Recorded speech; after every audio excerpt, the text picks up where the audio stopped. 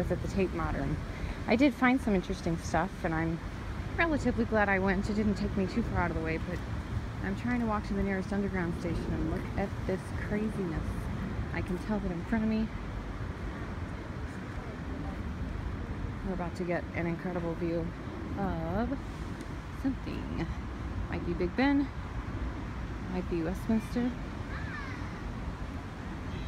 What a cool park.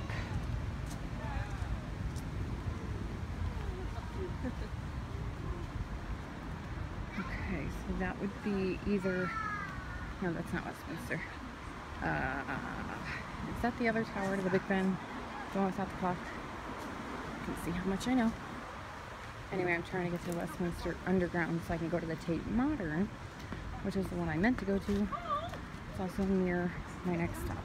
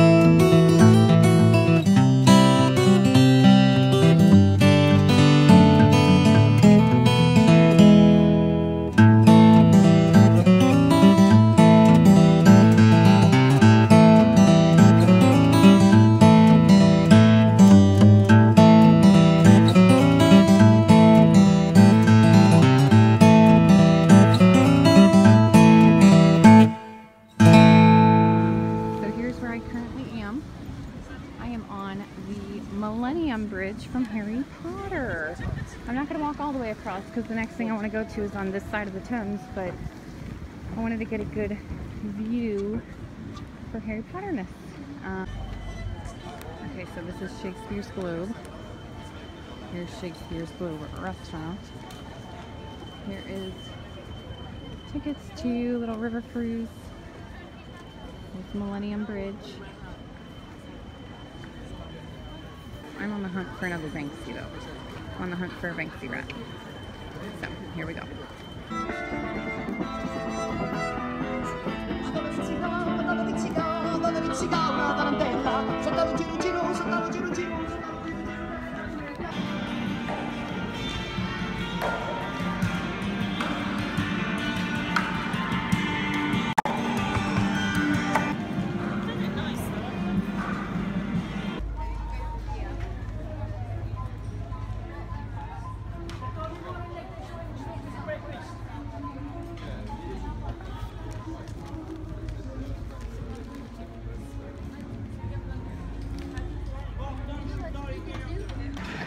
Have the good camera, but I was walking under this overpass, almost got hit by a car. There's a tourist attraction right there.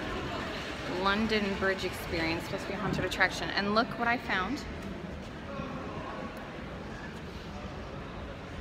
That would be another Banksy. That's a Banksy rat. It's in poor condition, but I'm gonna get some pictures of it. So somehow I ended up at a mall. Um, I'm supposed to be getting food because I'm starving, but uh, maybe let's do some shopping instead. I like this accessorized store. Let's go in here. So I'm still walking. Um, just found my Banksy that I was looking for. Well, that was a while ago. I've been looking since. Interesting stuff. This is Tourist Central, which is good for me. Because I like to feel safe and off the beaten path for myself doesn't feel safe. Now I'm looking for a place to eat inside, waiting for Sara, whose bus is late. Um, she went to Windsor Castle, and I want to see all the pictures and videos she took. She better take a bunch. I let her take the good camera, which is why I'm using the bedroom, or my phone. Oh, a bird almost landed on my head. Okay, I'll take some pictures. Okay, so I thought I was recording and I wasn't, but I'm walking across Tower Bridge. Um, where you get on. So here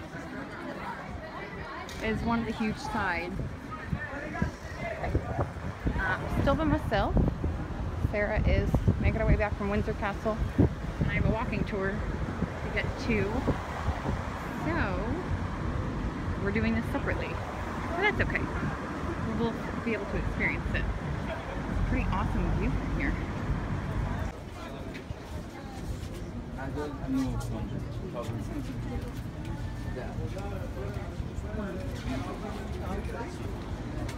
Maybe you don't have to pay to just go in.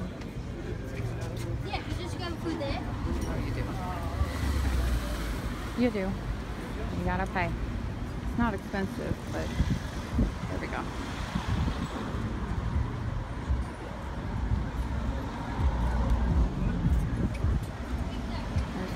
There's an exhibit in there. If I'm even gonna rush through, I'm not sure. It's worth it.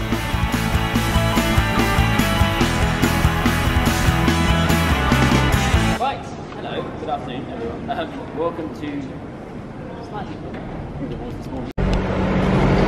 Okay, so I am on a walking tour looking at street art. We haven't made it to any of it yet. He talked about, and there's pictures, but um, we crossed over a wall that used to signify the end of the city and the beginning of the poverty.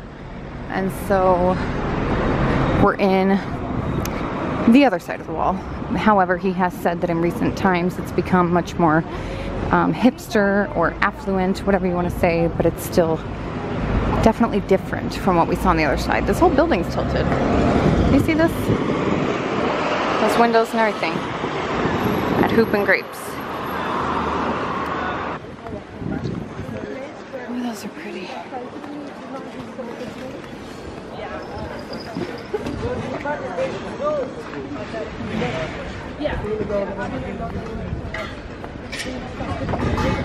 Um, Jimmy C comes from Melbourne.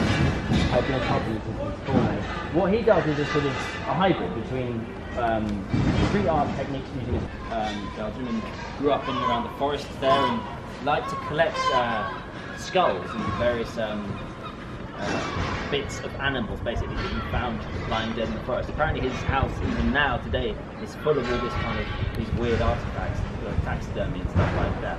Kind of weird. Anyway, that's obviously his inspiration. Um, this is actually, believe it or not, one of the smaller um, pieces that he does. There's a couple of other ones you can go if you wanted to go on a bit of a walk after the start making monetary gain. Then you're not really a street artist. Then you're just an artist who does work on the street as well.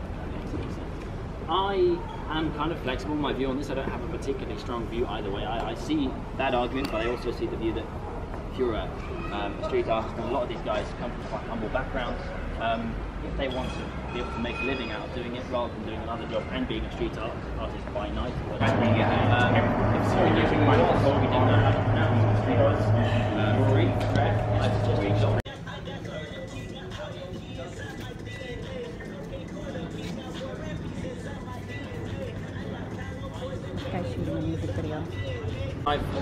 I've, I've been doing tours and I've bumped into when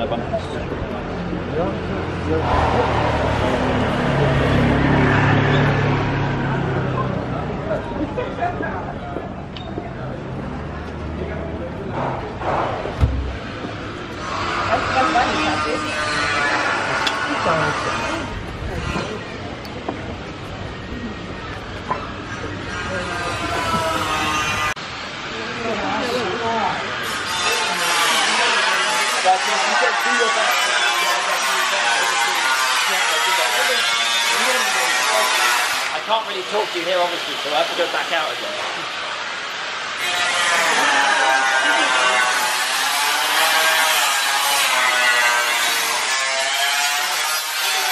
Um, and what's quite nice about it is that actually all of these pieces here, none of these pieces is more than a year old. So they've all been kind of refreshed over time. Um, the one rule, there isn't really, obviously there's no absolute rule in street art because it's kind of an art, is that the golden rule you would say, unspoken um, between uh, street artists who are well established, is that you don't paint over somebody else's piece. Yeah, so that, for that reason, each of these artists owns that particular uh, spot. So right there, direct, Carly Souza. There's a cool piece. You can just get a glimpse of it, Van Akkerman. He's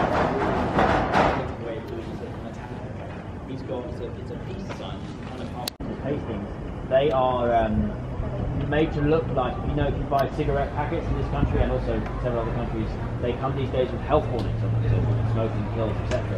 Um, it's written in exactly the same font and the same style as those are. And rather than being a, health warning for smoking, this is a health warning for uh, for. Uh, and consumers.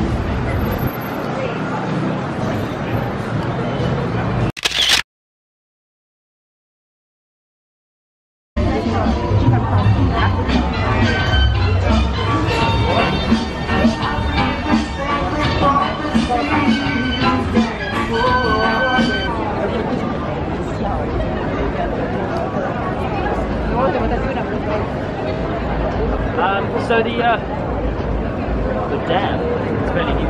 Um, I don't know if I want to read into too much to the artistic merits of it, but there we are. Um, people want to take photos, it's fine. Um, what I'm more interested in, this is um, the old Truman Brewery. So for years and years, this was one of the, the biggest and most famous uh, brewing houses in London. It got sold off about 20 years ago, um, derelict for some time, and then uh, now it's become this big art centre and market. Left hand side, the little space monster in black and white there, um, that is by Invader, Space Invader, who is a very famous French street artist. What he typically does is that style. Uh, mosaic pieces, um, which look like the, uh, the monsters of the 1970s video game, uh.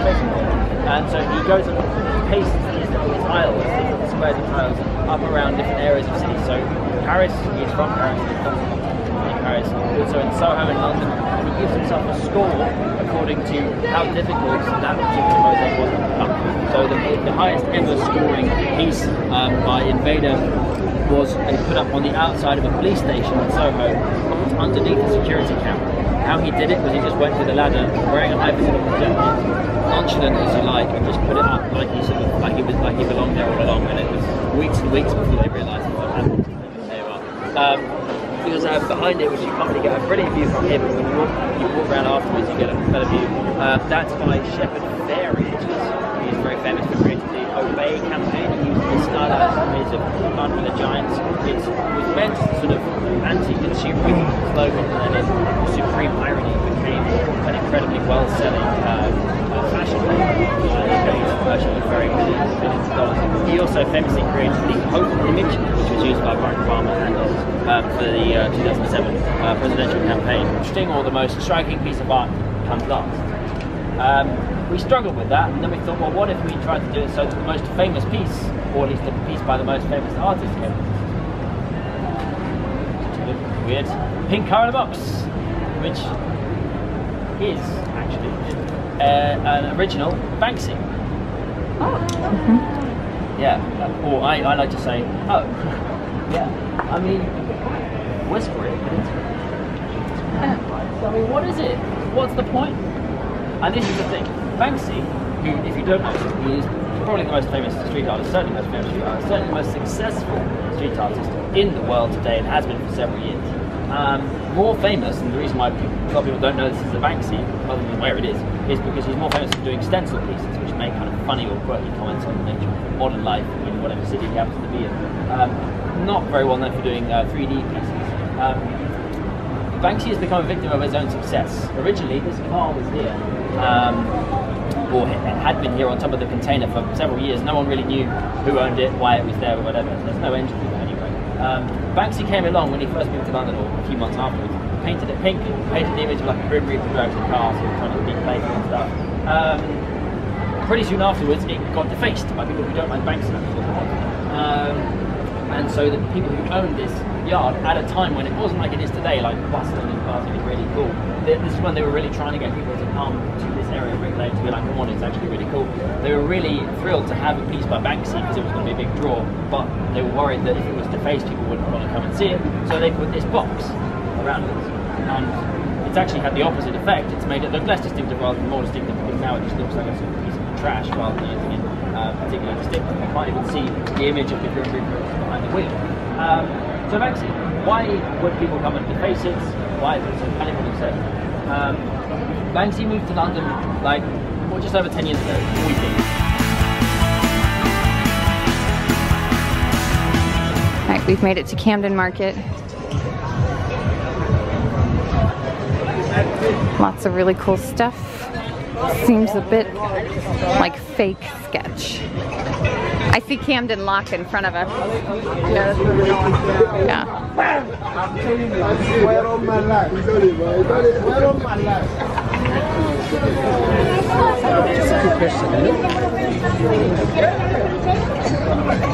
It's like a mixture of actual legitimate stores than a mixture of these weird stalls.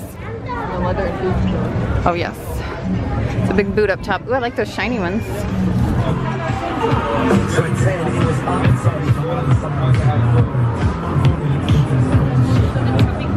Oh, they have all those keep calm shirts. Cambridge University. Oh, I like that. And if you're trying to haggle, you need to, you need to lie. I didn't want that. Oh, what's up? Yeah. I am an adult and I don't need that corgi, even though it's adorable. Oh, hey. There's Harry Potter up there at the top.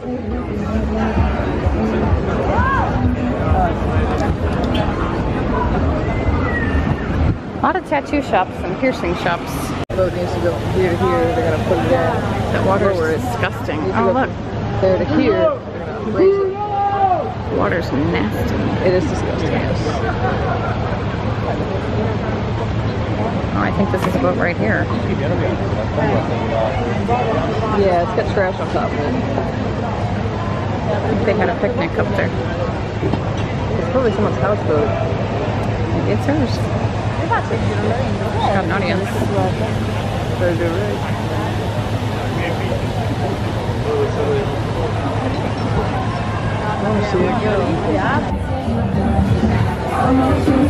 Camden Market. There's so many different areas of it, but unfortunately all the vendors are closing. Sara swears up and down she didn't want street food, but now here we have steamed buns and she's all about it. I've made some purchases. So, uh, about done with this day because I'm so thirsty. I need a drink. So, see where we go from here.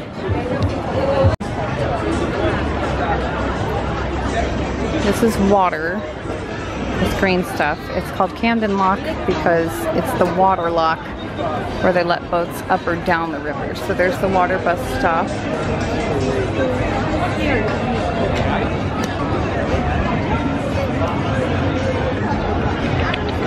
And that'll take you to locations where you need to go.